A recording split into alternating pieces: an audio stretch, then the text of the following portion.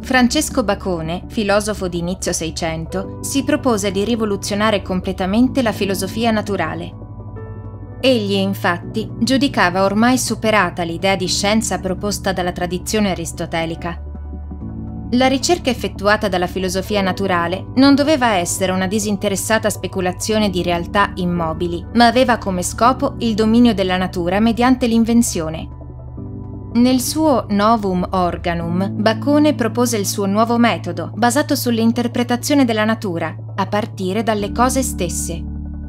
Egli affrontò il problema tra empirismo e razionalismo, delineando la figura del nuovo scienziato. Le formiche sono gli empirici, scienziati che accumulano senza criterio numerose nozioni partendo dall'osservazione, ma senza elaborarle in una teoria significativa.